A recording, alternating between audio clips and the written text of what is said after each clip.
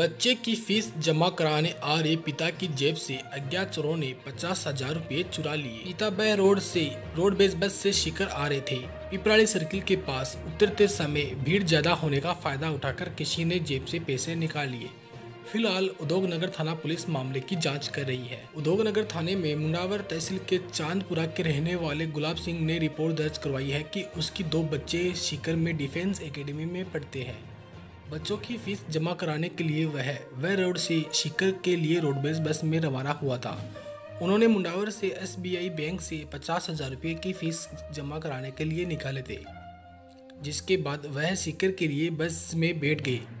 शिकर में पिपराली सर्कल के पहुँचने के बाद जब वह बस से उतरे थे उस दौरान किसी अज्ञात व्यक्ति ने भीड़ ज़्यादा होने का फ़ायदा उठाकर जेब से पचास हज़ार रूपए निकाल लिए। गुलाब सिंह ने बताया कि वह गाँव में टेंट का हाउस का काम करता है। बच्चों की फ़ीस जमा कराने के लिए उसने कड़ी मेहनत से पैसे एकत्रित किए थे, लेकिन चोर उसकी मेहनत के पैसे चुरा कर ले गए। पैसे चोरी होने के बाद उन्होंने उद्योग नगर थाना पुलिस में मामला दर्ज करवाया।